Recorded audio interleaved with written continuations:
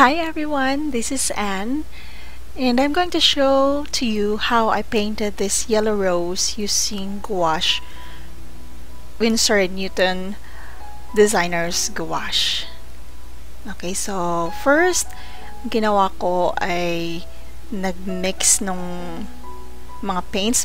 Basic colors lang ang meron ako, puti at saka itim. So, ito ang ginamit kong swatch Okay, tinitest ko lang muna kung ano ba talaga ang transparency at opacity nitong gouache. So, wala akong maraming kulay, kundi mini-mix lang mix ako lang siya to achieve my desired color. So, gouache is pretty similar to acrylic and watercolor. So, parang combination siya ng acrylic at watercolor. Pero sa opacity, mas talagang maganda lang yung gouache. Depende actually sa brand. So, itong Winsor & Newton Designers gouache, ito ang magandang gamitin para sa pagdrawing ng mga uh, anime or manga thing, mga ganon. And, ito naman ay ginagamit ko sa kahit anong painting. Uh, may it be landscape, uh, flowers, or even portraits, ginagamit ko ang gouache. So, very flexible yung mga ginagamit ko na materials kahit pa paano nagagawa ko naman ang gusto ko. So, this thing, as you can see, uh, nagpa-practice pa lang ako actually. So, bear with me. Sana magustuhan niyo itong video. Actually, medyo matagal na ito. so, ngayon, try natin ang green colors. Actually, yung gouache, ay may natural na binder or ang pinaka main binder ng mga magagandang brand is actually gum arabic. So, ang gum arabic ay nakukuha sa mga tropical na puno ng kahoy at or cherry tree sap, parang ganon. Yung parang uh, dugas siya ng kahoy. So, may ibang binder naman na ginagamit like dextrine at ito ay ginagamit sa mga murang gouache paints. Sugar syrup, para siyang plasticizer sa mga cheaper products ng gouache at starch naman para sa mga poster paints. So, ang poster paints ay medyo kagaya din siya ng gouache pero ginagamitan nila ng starch. So yung fillers may iba't ibang klase like alumina hydrate, may mga precipitated chalk, So, uh, mga blank fixator para ito mag-control ng tinting strength ng gouache. Okay, so may iba-iba ding technique sa pag-apply ng medium na ito. So, may mga additives na ginagamit like oxgal, isa itong wetting agent. So, dinidilute din siya sa water. Okay? Pero ako gumagamit ako ng gum arabic. Ayan ay dinidilute ko sa water. Tapos, maraming mga gouache brands actually, pero mas prefer ko ang Winsor & Newton. May kamahalan siya shmenka, pero maganda siya. Maraming kulay ang pagpipilian at maraming mga imported na mga gouache paints naman na pwede ninyong mabibili sa mga local uh, art stores. Okay, tapos ito naman, ang ginamit kong papel ay ordinaryo lamang na watercolor canson paper. So, depende din sa ginagamit na papel. Okay, so ang brush, mas gusto kong gumamit ng synthetic brush kasi talagang match siya doon sa uh, medium ng gouache hindi siya masyadong nag-retain ng water, mabilis siyang mag-lift up. Ayan, so sa gouache technique, siguro sa susunod na video, tatalakayin ko yan. And, ang isa sa pinakamagandang brush na paborito ko actually is the Klingsky Sable brush na gawa ng Winsor & Newton. Then ever since, from the start, talagang Winsor & Newton fan ako. So, from oil to gouache at saka sa brushes. So, ito na, test naman natin ang dilaw, ang kombinasyon ng dilaw na kulay. Yung mga kulay na meron lang ako ay basic colors. Okay, red, yellow, uh, blue, tsaka white, and black. Yun lang. So, nagko-combine-combine lang ako. I'm not that rich to uh, be able to buy mga mararaming kulay. so, ayan, puro ako kombinasyon. Ito ang mukha ng sausawan ko. Okay, ayan. At ito na ang nagawa kong swatch. Okay, medyo masaya na ako dito. so, uumpisahan na natin. Okay. So, sa paggamit ng gouache, pwedeng gumamit ng gesso boards or uh, watercolor paper. Maraming pwedeng gamitan. Ito naman ay regalo sa akin ng kaibigan ko. Para siyang gouache, karandashi na uh, colored pencils. Watercolor pencil actually siya. So, um, hindi siya ganun talaga ka-artist grade, pero magandang brand ang Karandasha. So, nakikita mo, isa siyang gouache kind of watercolor pencil. Student grade siya actually, pero maganda siyang gamitin pang outline, pang sketch sa mga uh, paintings like watercolor or gouache or kahit sa acrylic kasi kapag gumagamit ako ng lapis, ng graphite pencil, mm, hindi ako masaya sa magiging resulta nito dahil medyo, alam mo na, naiiwan yung lead, yung graphite uh, uh, pencil lead. At mas magandang gumamit ng uh, watercolor pencil or kagaya nitong karandash na uh, watercolor gouache pencil. So, sketch natin yung yellow rose Actually, paborito ko is red rose. Pero, naiintriga ako sa yellow rose na ito. Kaya, gusto ko siyang i-paint gamit ang gouache. So, tingnan natin kapag nag nagkokopya ako sa reference, hindi ko talaga perfectly na ginagaya. Uh, may konting twist at saka yung detalye, yun ang kinakapture ko lang sa mga uh, pinipinta ko uh, mas maganda kasi na magiging original tayo sa ating mga gawa. At saka, kinukombine ko yung mga litrato. Hindi lang ako nagbabase sa isang litrato. So, ayan. Tapusin natin ang pag-sketch. So, by the way, sa paggamit naman ng mga papel, hmm, mas mainam na gumamit ng medyo makapal like gesso boards or uh, itong ginagamit ko ngayon, uh, watercolor canvas siya. Okay? makapal siya. So, it could withstand yung paulit-ulit na wash, paulit-ulit na pag-apply nung water-based paint like gouache or watercolor. May mga acrylic gesso boards din. Depende sa inyo kung ano yung nakasanayan at ano ang gusto nyong gamitin. So, ang maganda lang sa board, sa watercolor board, kasi uh, hindi siya madaling mag-fold uh, uh, o hindi siya nagko-corrugate. Mm, maintain ang kanyang pagka-flat gaano kadami ng water ang i-apply mo. Pero sa gouache, hindi naman kailangan na maraming water ang gagamitin natin.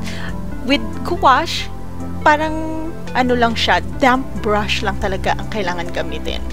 So, you have we have to learn the blending and the transition of the gouache paint. So, may, may dried gouache din, may uh, gouache din na galing sa tube. So, mabiblend siya sa paggamit ng damp brush. Hindi masyadong epektibo kapag ang brush ay masyadong basa. Hindi siya kagaya ng watercolor na ma, ma nakikita mo yung transparency. Iba siya. Kasi, gouache is somehow similar to acrylic. 'Di ba? Ayan. So ang gouache ay magandang gamitin kapag uh, na-dilute mo siya sa konting tubig pagkalabas ng kanyang tube. So, hindi siya actually advisable na gamitin directly from the tube.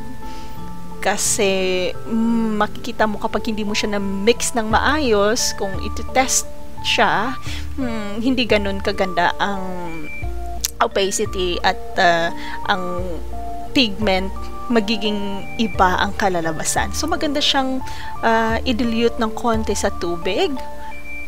At saka kung gusto mo na magdagdag ang transparency, ang ginagawa ko, uh, ginagamitan ko siya ng konting gum arabic. Parang uh, drops of gum arabic sa 10 parts of water. Like sa 10 ml, so 2 drops lang. 2 parts of that gum arabic. So, makakatulong siya sa adherence nung gouache. Like ito, ang ginagawa ko ay hmm, background pa lang ito para may guide ako. Ayan. So, nabubura siya. Nabubura yung, yung outline ng watercolor pencil. Ayan. Pero, at least, kapag nagawa ko na yung background, yung guide, mas madali na lang sa akin na uh, mapop up yung subject na bulaklak na ito. So, flat tones, ayan, hindi naman talaga kailangan na i-repeat yung strokes over and over at the same time kasi mm, mali-lift off si gouache. So, mas maganda na uh, we let it dry, really dry first before applying the next layer. Ayan. So, mas maganda siya kung i-mix mo siya horizontally then the next layer you, you apply it vertically or the other way around. So, talagang light lang talaga ang pag-load ng pigment doon sa brush. Not too heavy. Kung gusto mong maging texturize yung gawa, so, ang ginagamit ko naman ay parang alam mo na yung uh, tawag dito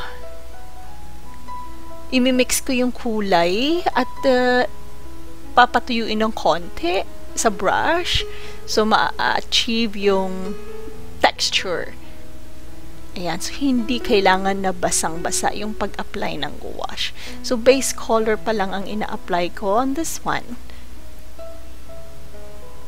Okay, so depende talaga sa uh, technique at sa nakasanayan nyo sa pag-drawing. So, kanya-kanyang diskarte. Ayan, so for the color mixing tips, mas maganda na si gouache ay uh, light to dark. Okay? At uh, wag lang mag-add ng black kasi magiging muddy siya. So, ito naman, ang ginagawa ko kapag na-dry na yung kulay, i-mix ko siya ulit. Ayan. Uh, ito namang ginagamit kong uh, pang-mix ay isang old applicator, makeup applicator. So, yung diluted gum arabic with water, ito yung ginagamit kong pang mix hanggang sa pumino siya. Hindi muna ako gumagamit ng brush because ayaw kong masira ang brush ko. So, kailangan, ayan, ma-mix ko muna siya with a stick, with a toothpick or something like this. So, kapag nagiging creamy na or buttery na yung kanyang texture, ayan, medyo ready na siya to apply. So, to mix a gray or something dark, you just have to mix three complementary colors lightly.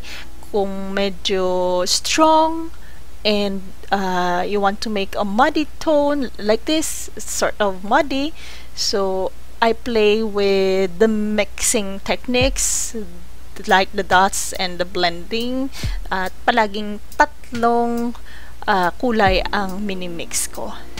Ayan. So, kahit limitado lang, kahit basic or primary colors lang ang meron ka, and you love color mixing, you know, well, the color theory, maraming kulay ang ma-achieve mo.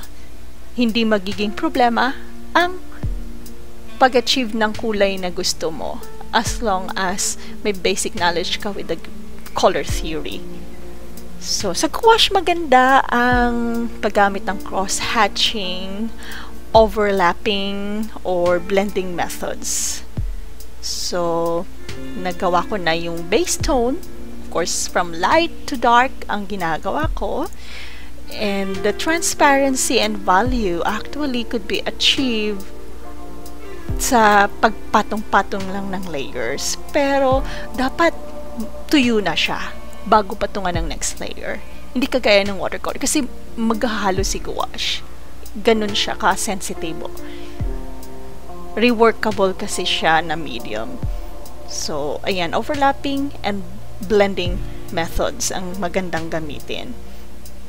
So, gagawa tayo ngayon ng mid-tone and then we will continue to darker and then lighter tones for the highlights. Okay. So focus lang ako doon sa mga kulay na na-mix ko. It's really fun to work with gouache So, it's really up to your intuition kasi lahat naman ng color theories uh, will have the same conclusion at the end of the day. Ikaw mismo ang nakakaalam ng nag-work sa'yo na technique. It's all up to you, your preference, the way you work, the way you handle your brush, the way you mix the colors. Yan. So, as you can see, I always dab the brush on this tissue sa side.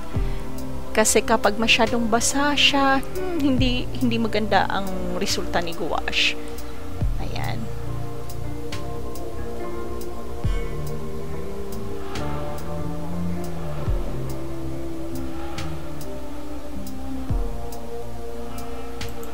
So, I hope that you enjoy this video using gouache for painting a flower. I'm trying to achieve something realistic on this one and something impressionistic hopefully ayan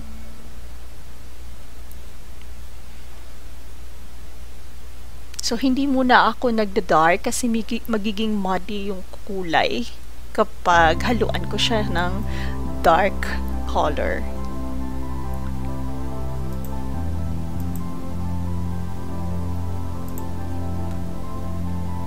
Oh, by the way, you can check my art page on Facebook. Kagagawa ko lang uh, mid-2019. As in, late na ako talaga nag-share ng artworks ko And hindi ako ganun ka-sipag mag-drawing from time to time. Only ngayon lang ako nagsisipag kasi I'm back to my studies. I want to finish something. I want to achieve a goal that I haven't uh, achieved some time ago. so, kaya ako nagsisipag sa pagdo-drawing ngayon.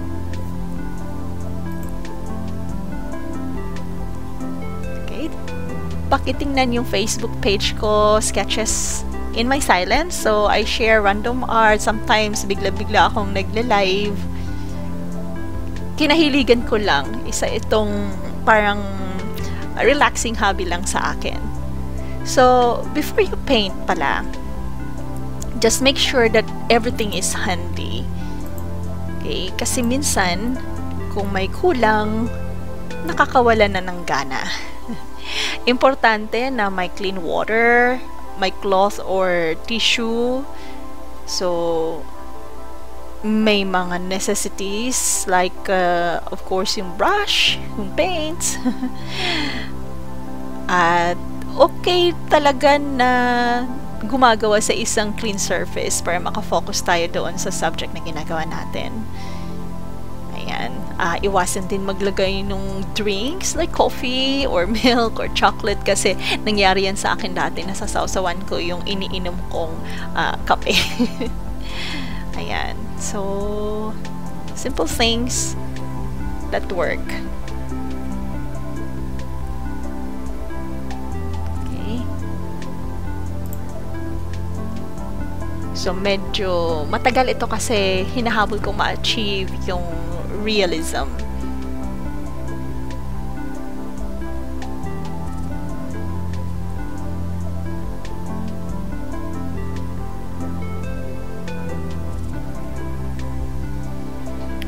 Nakakatuwa ang shading and highlighting sa gouache kasi it's like uh, acrylic or even quite similar to oil kung nag-oil painting kayo kasi it's like dry on dry technique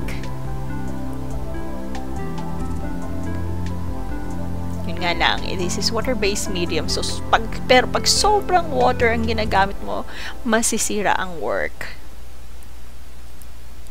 So, a little only, a little water only is needed.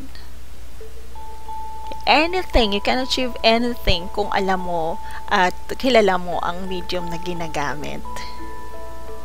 So, again, let it dry. Para maka-apply ng next layer.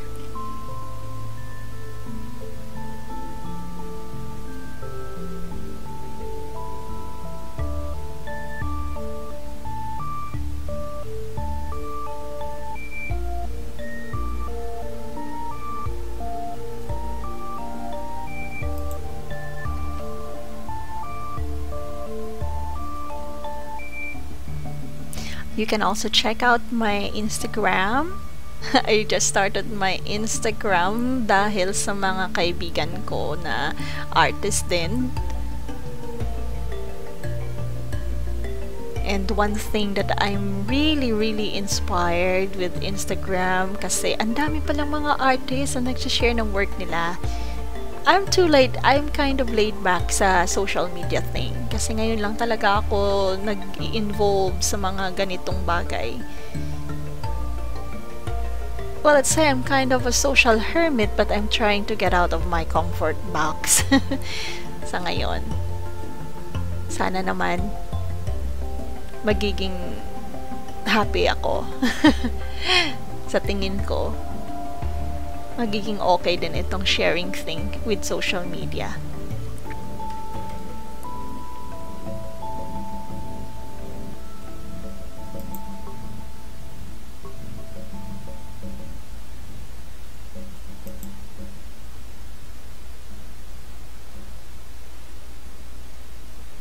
Sa paghanap naman ng medium to practice with, alamin kung ano ang nakaka-inspire o di kaya mas maganda yung isang bagay na challenging. I usually challenge myself kasi kung walang challenge, mabilis akong maboard. Kaya mas maganda na yung pumili ng isang subject na challenging. Yes, it's not that easy kasi nga challenging, pero mapupush mo yung limit mo at matitest mo yung limits mo talaga kung hanggang saan at ano ang kaya mong gawin. So, nakakatuwa siya. So, lahat ng mga artist talaga tinitest ang sarili, pinupush ang sarili para makita kung ano ang kalalabasan ng ko. It's not about competing others with others rather, but with yourself. Kasi kapag uh, iniisip mo na you can do something to test yourself, may bigla kang madidiscover na art something na uh, hindi mo akalain na magagawa mo pala. may madidiscover ka na kakaibang artistic technique or anything there is always something new to learn, really. It's good to learn from others, of course, to copy the technique. Pero, yun nga, iba-iba ang thumb mark natin. So, kanya-kanya tayo ng uh, talagang estilo sa pag-drawing o sa pag-create ng kahit anong bagay.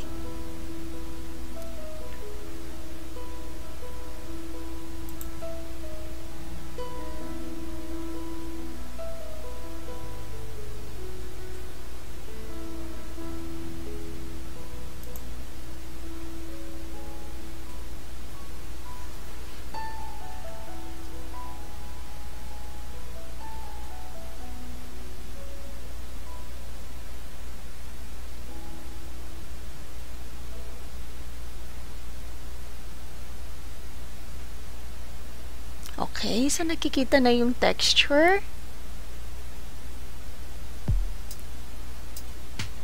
Apply na natin yung shades.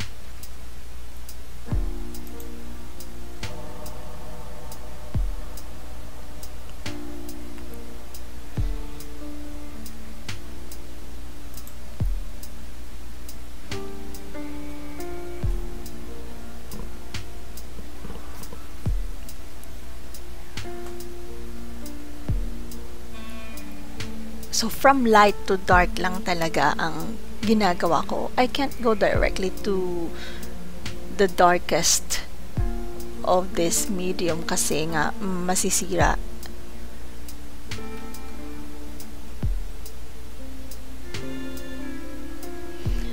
the white of this gouache, you know, the technique of adding white is actually known as body color kasi yung puti yung nagdadala dito sa gouache. The same thing with acrylic and oil. It's all about the white color. Uh, it's not uh, white actually is not a color to be uh, to be you know informed lang na black and white ang kinaiba ng black at white okay kasi white is not really a color. Okay? Kasi baka may mas alam kayo, okay? Dahil sa ang white at black excluded sila sa definition nung specific uh, color wavelengths hindi defined as a color yung puti. Kasi nga, it's uh, a summation of all the possible colors. Ayan. And black is not also defined as a color kasi it is the absence of light. And therefore, it's not a color. Ayan. So, yan ang kinaiba niya. so, uh, kaya kung gumagamit ng white sa mga colors, syempre, nagiging lighter siya. Kung gumagamit ng black, syempre, nabubura yung specific color wavelength kay, dahil black siya. It's the absence of light.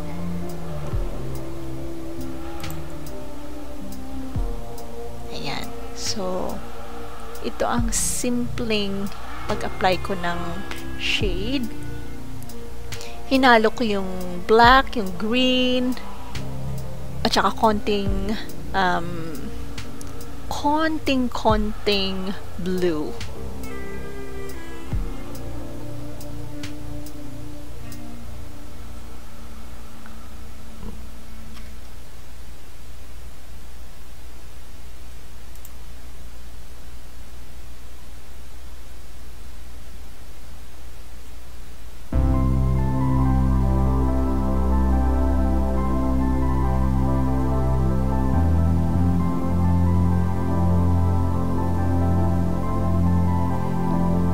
Okay, there is something to refute about the white kasi merong ibang nagde-define ng white as a color.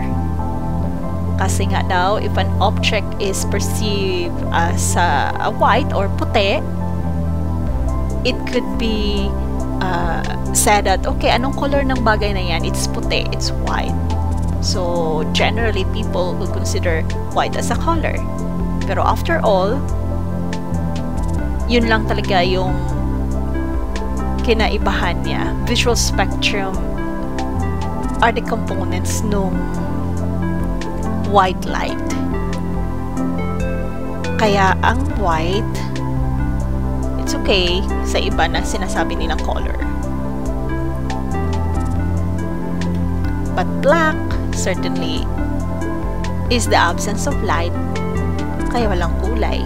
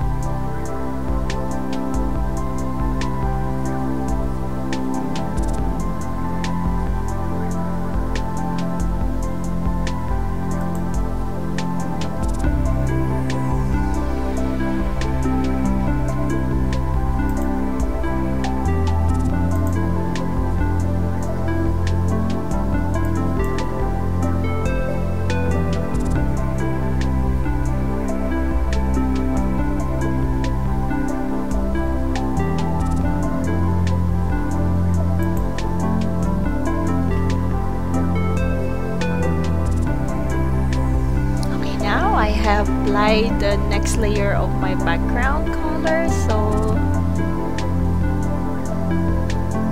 ito, ginawa ko mas runny siya, mas uh, uh, basa siya, parang wet on wet technique ng watercolor. Pero it's really different from watercolor, though it's quite similar in component. Pero hindi siya ganun ka um, washy sa watercolor. But it's so much fun to play with gouache.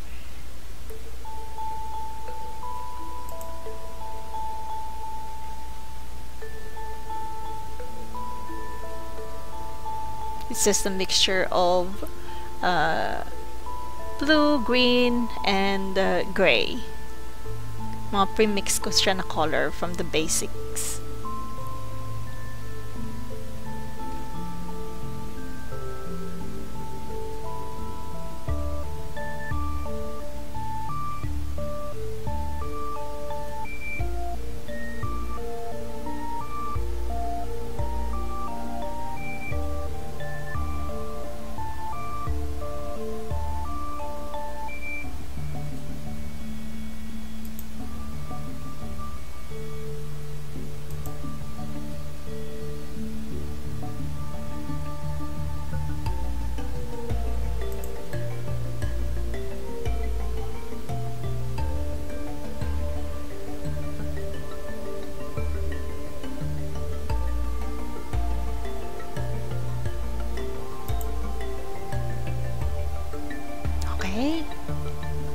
Jumped into the background leaves. Ayan, so dry on dry technique is really good with gouache. I also do this technique with watercolor. Pero it's uh, easier with watercolor kasi nga transparent siya. With gouache, you really have to work with uh, dried layers before applying the next one.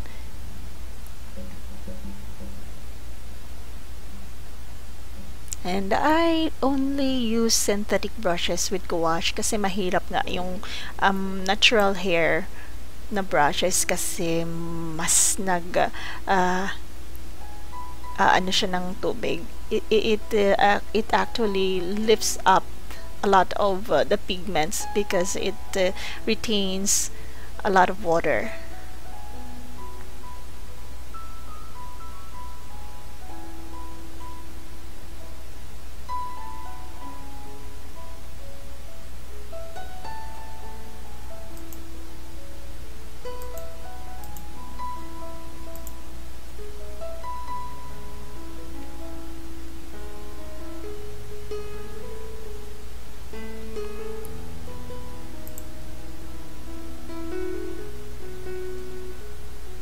Malapit na lang siya matapos. Actually, just retouching it.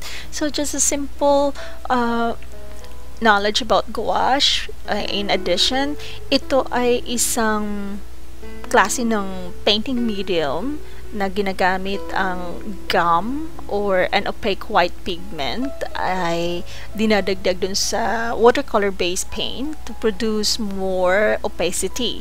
So, in watercolor, yung mga tiny particles of pigment actually it become enmeshed in the fiber of the paper. Sa gouache naman, yung color niya, it lies on the surface of the paper. So that's the difference. Kapag watercolor, talagang nag nag dig deeper siya doon, kumbaga nanunuot siya doon sa papel. But with gouache, it's just on the surface.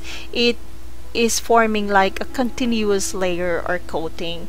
So gouache is characterized actually by directly reflecting its brilliance, the brilliance of the color of the pigment. And when applied with your brushes, very possible siya na ma-achieve yung slight but effective impasto like yung thick coated quality. Ayan, so ganyan ang kinaiba niya sa watercolor. So, it gives you a smooth, flawless color field na nakikita nyo dito sa painting na ito. yan ang kinaibahan niya kasi nagfo-float lang yung gouache pigment. Hindi kagaya ng watercolor na it sinks in. Kumbaga, kumakapit talaga siya doon. Ito naman, kumakapit naman, syempre. Pero, uh, it, it, it floats. Doon lang siya sa surface. Hindi masyadong uh, nag, nagkakapit doon sa paper surface. Kaya, reworkable siya. So, kung magkakamali, yung ginagawa ko, binubura ko lang siya with water, then dab it with a tissue, then I can work on it again. Especially kung uh, ang ginagamit ay ganitong watercolor canvas board, napakaganda siya. Or the thicker watercolor like uh, hot press watercolor, mas maganda siya. So, okay na okay si gouache for me. So, yan ang kinaibahan niya sa watercolor with watercolor, you cannot lift it up anymore. It's quite difficult to lift it up kasi talagang magka-adhere yung paint niya doon. So, itong gouache painting actually is an old technique. It's uh, a technique done in the antiquities. It was used by the Egyptians and it was a very popular medium during the Rococo period. Yung mga Rococo artists like Frank Hobosher in 1703, I think. Uh, yung mga contemporary painters also, they use gouache alone and in combination with watercolor, and other mediums like acrylic. So, yan ang kagandahan ni gouache. I know a lot of people are using watercolor nga they like their the washy thing about it, the opacity of it. Uh, I mean, the transparency of the watercolor.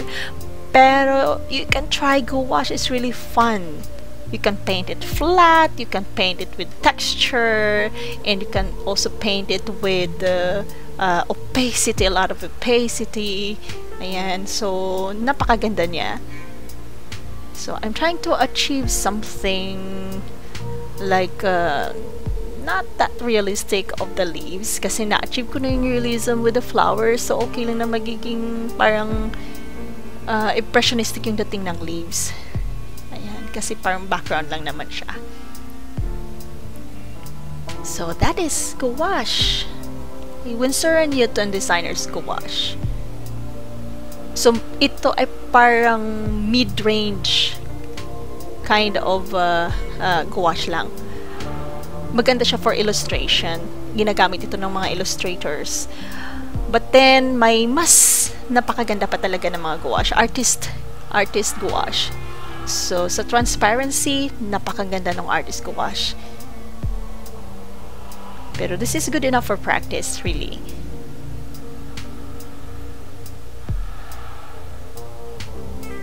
Ayan, so, well, lahat ng mga sinabi ko at ginagawa ko dito, it's just in accordance to my own preference and depende talaga sa diskarte niyo sa pag-drawing at sa mga madidevelop ninyong technique. It's easy to watch and then try to copy some other artist technique pero minsan, syempre, mas maganda talaga kung ikaw ang magdiscover ng mga technique o uh, pwede mong gawin sa isang medium. Okay? Uh, walang tama naman umali. Okay? It's really up to you how you develop your style, how you develop your own technique how how you achieve your goals and depende talaga so ang daming bagay na pwedeng i-drawing around us combine things around us hindi mahirap na maghanap ng subjects okay, so gustong gusto ko talaga si gouache kasi it's so vibrant nakakaaliw ang kulay niya so palagi akong merong test paper sa tabi kasi bago ko i-apply gusto ko muna makita kung ano yung uh, kalalabasan ng kulay. Kaya ayan ang gulo ng uh, test paper ko sa side. So sana nagustuhan nyo ito. Maraming salamat sa panunood. At kung may katanungan kayo, please just leave a comment below or you can message me on my Facebook art page, Sketches in My Silence, or also you can check my Instagram, Art in My Silence. Thank you!